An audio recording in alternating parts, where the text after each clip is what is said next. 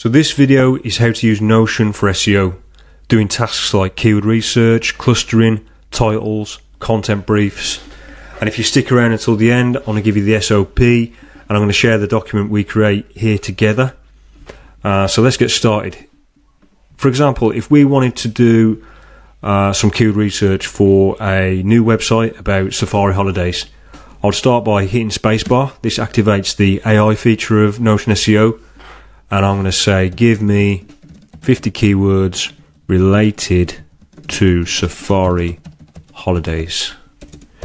And then it's going to go and give me 50 keywords. The good thing about um, AI keyword research, even though you don't get the volumes, you might get related, semantic, lateral kind of keywords you wouldn't have thought of when doing traditional keyword research with traditional keyword tools where it's kind of input, output, um, and there's no AI kind of um, element to it. So once you've got this big list of keywords, 50 is a good amount. It's like exhaustive. It's, it shows you the lay of the land. I think it's enough to see, you know, all the head terms and all the categories you can create for your site. We then want to see what kind of categories we should we should um, put into our site. What kind of sections we should have on our site. So group these keywords into categories.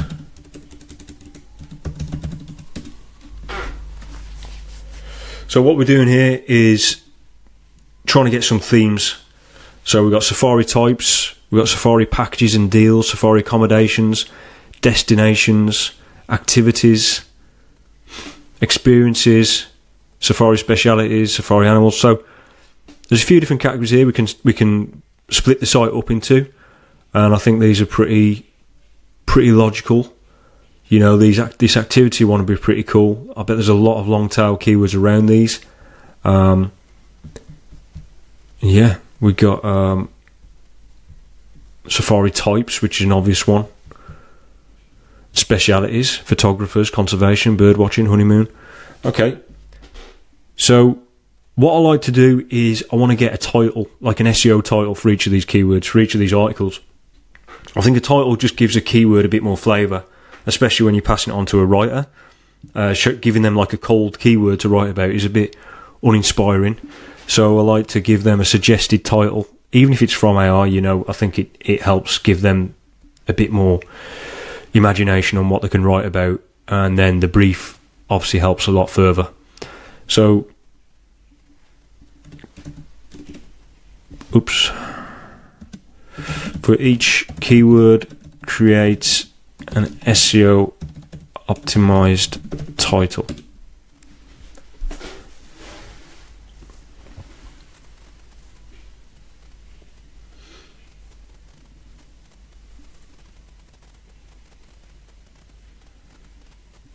So as you can see, it has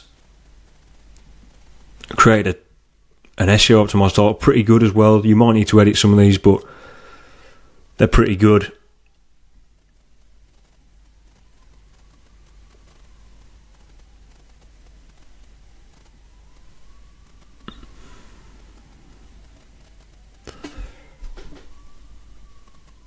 And what we want to do is we want to put these back into the um, into the themes as well. So we'll we'll ask it to do that after this generation.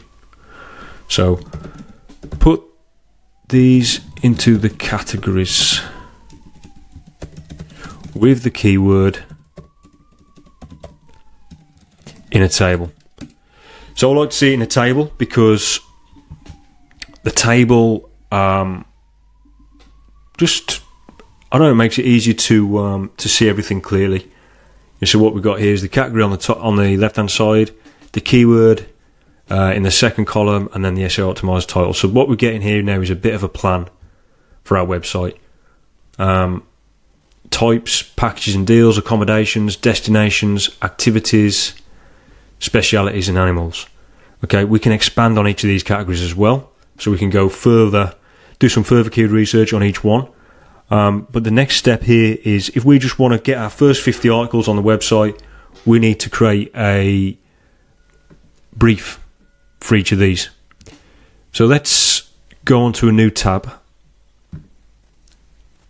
and we're going to say create a content brief. Let's say an SEO content brief. So it knows to include things like keywords and a meta title and stuff like that. Create an SEO content brief for an article titled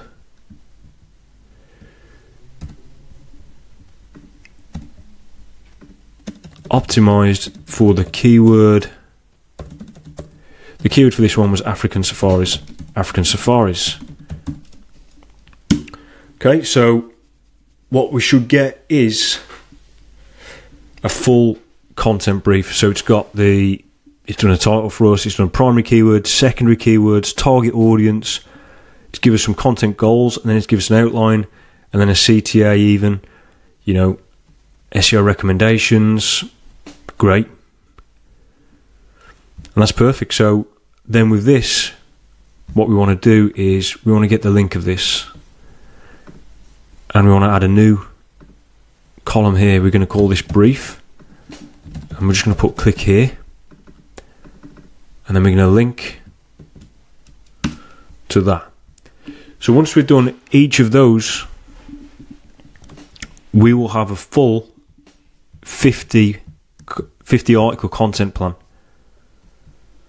with the category, the keyword, the optimized title, and the and the brief.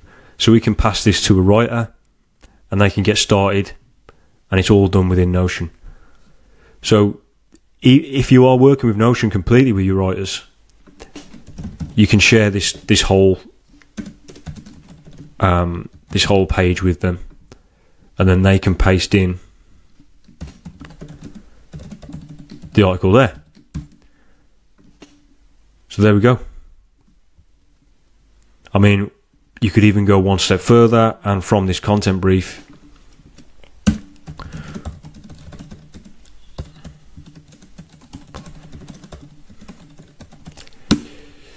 you can write the article.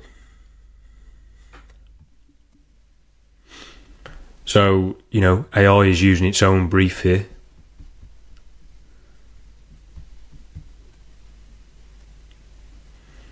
and it's looking pretty good.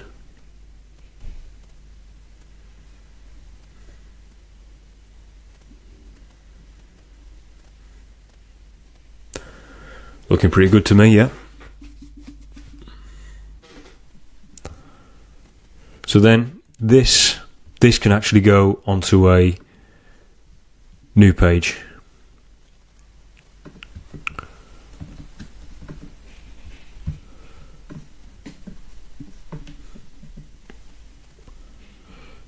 This page here.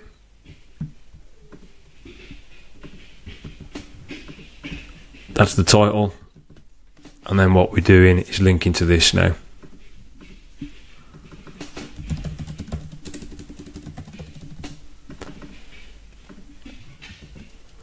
So what we've got then is the everything created by Notion here. So that we haven't even left and gone to an any keyword tool or anything.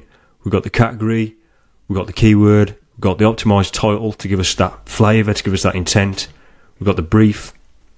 And then if you're using a writer or if you're using Notion itself, Notion or any AI tool works a lot better when you when you give it that brief, when you give it that that bit of granular instruction.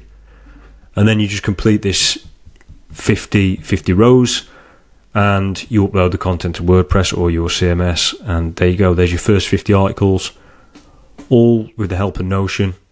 And that's Notion SEO for you. If you enjoyed this video, please subscribe, like, comment, and let me know how you're using Notion for your SEO. I'll see you on the next video.